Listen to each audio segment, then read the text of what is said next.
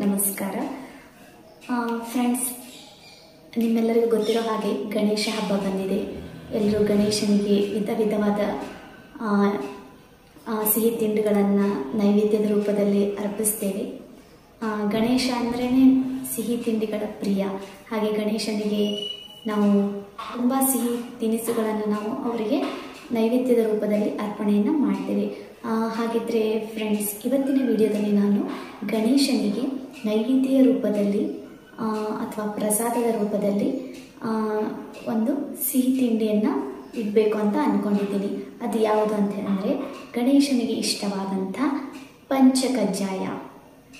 ಅಂದರೆ ಸಿಹಿ ಪಂಚಕಜ್ಜಾಯ. ಹಾಗಿದ್ರೆ ನಾನು ನಿಮಗೆ ಇವತ್ತಿನ ವಿಡಿಯೋದಲ್ಲಿ ಪಂಚಕಜ್ಜಾಯನ ಹೇಗೆ ಮಾಡಬೇಕು ಅಂತ ಹೇಳ್ಕೊಡ್ತೀನಿ. ಸೊ ದಯವಿಟ್ಟು ಕೊನೆಯವರೆಗೂ ನನ್ನ ವಿಡಿಯೋನ ನೋಡಿ. ನನ್ನ ಚಾನಲ್ನ ನೀವಿನ್ನೂ ಸಬ್ಸ್ಕ್ರೈಬ್ ಮಾಡಿಲ್ಲ ಅಂದರೆ ದಯವಿಟ್ಟು ಸಬ್ಸ್ಕ್ರೈಬ್ ಮಾಡಿ. ಹಾಗೂ ಪಕ್ಕದಲ್ಲಿ ಬೆಲ್ ಐಕನ್ನ ಕ್ಲಿಕ್ ಮಾಡಿ. ಹಾಗಿದ್ರೆ ಬನ್ನಿ ಫ್ರೆಂಡ್ಸ್ ಪಂಚಕಜ್ಜಾಯನ ನಾನು ಯಾವ ಥರ ಪ್ರಿಪೇರ್ ಮಾಡ್ತೀನಿ ಅಂತ ನಿಮಗೆಲ್ಲ ತಿಳಿಸ್ಕೊಡ್ತೀನಿ.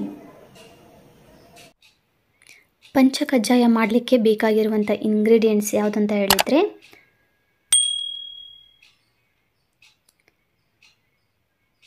ಪೇಪರ್ ಅವಲಕ್ಕಿ ಒಂದು ಕಪ್ಪು ತುರಿದಿಟ್ಕೊಂಡಿರುವಂಥ ಕಾಯಿ ಹಾಗೂ ಬೆಲ್ಲ, ಏಲಕ್ಕಿ, ಗೋಡಂಬಿ, ಬಾದಾಮಿ, ದ್ರಾಕ್ಷಿ ಹಾಗೂ ಒಂದು ಚಿಕ್ಕ ಕಪ್ನಲ್ಲಿ ನೀರನ್ನ ತಗೊಂಡಿದ್ದೀನಿ. ಇವಾಗ ನಾನು ಒಂದು ಪಾತ್ರೆ ಇಟ್ಕೊಂಡಿದ್ದೀನಿ. ಅದಕ್ಕೆ ಸ್ವಲ್ಪ ನೀರು ಹಾಕ್ತೀನಿ. ಲೋ ಫ್ಲೇಮಲ್ಲಿ ಇಟ್ಕೊಳ್ಬೇಕು.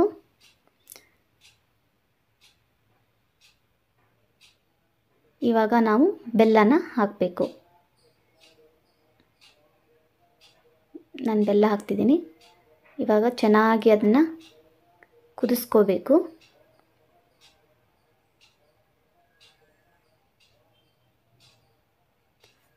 ಅದು ಆಣ್ ಆಗಬೇಕು ಅಂದರೆ ಸ್ವಲ್ಪ ಗಟ್ಟಿಯಾಗಬೇಕು ಆ ರೇಂಜಲ್ಲಿ ನಾವು ಕುದಿಸ್ಕೋಬೇಕು. ಇನ್ನೊಂದು ಕಡೆ ನಾನು ಒಂದು ಪ್ಯಾನ್ ಇಟ್ಕೊಂಡಿದ್ದೀನಿ. ಅದಕ್ಕೆ ನಾವು ತೊಗೊಂಡಿರುವಂತಹ ಡ್ರೈ ಫ್ರೂಟ್ಸ್ನ ಸ್ವಲ್ಪ ಫ್ರೈ ಮಾಡ್ಕೋಬೇಕು.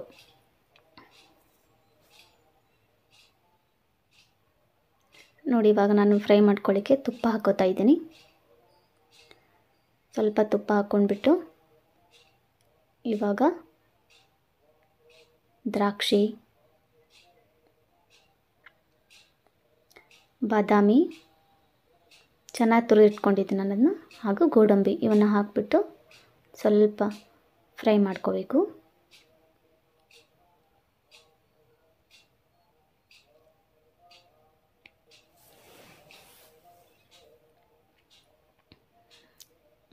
ಇವಾಗ ಚೆನ್ನಾಗಿ ಫ್ರೈ ಆಗಿದೆ.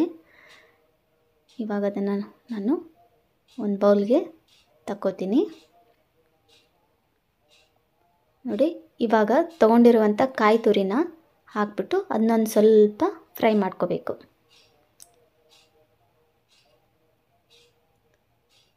ಅದು ಕೂಡ ಫ್ರೈ ಆಗಿದೆ. ಇವಾಗ ಬೆಲ್ಲದ ನೀರನ್ನು ನಾನು ಪ್ಯಾನ್ಗೆ ಹಾಕೋತಾ ಇದ್ದೀನಿ. ನಾನು ಬೆಲ್ಲ ಚೆನ್ನಾಗಿದೆ. ಇನ್ ಕೇಸ್ ಬೆಲ್ಲ ಚೆನ್ನಾಗಿಲ್ಲ ಅಂದರೆ ಅದನ್ನು ಸೋಸ್ಕೊಂಡ್ಬಿಟ್ಟು ಹಾಕ್ಕೊಳ್ಳಿ ಇವಾಗ ಇದನ್ನು ಸ್ವಲ್ಪ ಕುದಿಸ್ಕೋಬೇಕು. ಸ್ವಲ್ಪ ಗಟ್ಟಿ ಆಗೋವರೆಗೂ.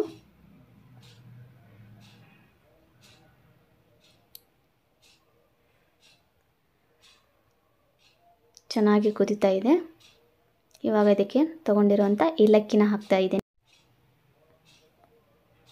ಹಾಗೂ ಫ್ರೈ ಮಾಡಿ ಇಟ್ಕೊಂಡಿರುವಂಥ ಡ್ರೈ ಫ್ರೂಟ್ಸ್ನ ಹಾಕ್ತಾಯಿದ್ದೀನಿ ಇವಾಗ ಕಾಯಿ ತುರಿನ ಹಾಕ್ತಾಯಿದ್ದೀನಿ ಎಲ್ಲ ಹಾಕ್ಬಿಟ್ಟು ಚೆನ್ನಾಗಿ ಕಲಿಸ್ಕೋಬೇಕು.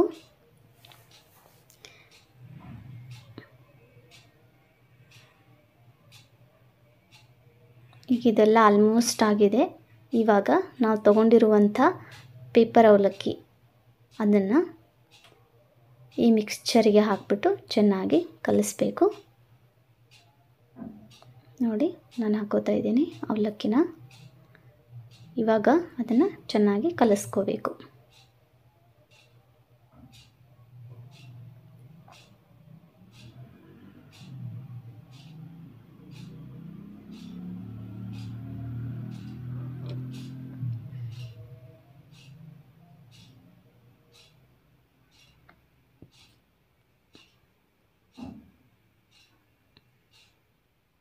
ಎಲ್ಲ ಆಲ್ಮೋಸ್ಟ್ ನಾನು ಕಲಿಸ್ಕೊಂಡಿದ್ದೀನಿ. ಇವಾಗ ಕಲಿಸ್ಕೊಂಡ್ಬಿಟ್ಟು ಇದನ್ನು ನಾನು ಒಂದು ಪಾತ್ರೆಗೆ ತಗೋತೀನಿ.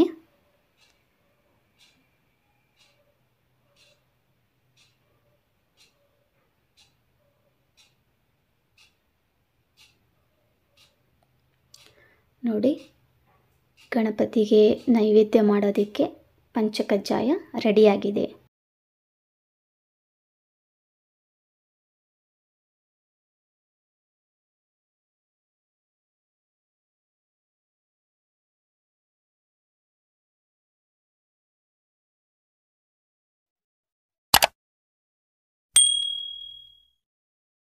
ಫ್ರೆಂಡ್ಸ್ ಹಾಗಿದ್ರೆ ನೋಡಿದ್ರಲ್ಲ?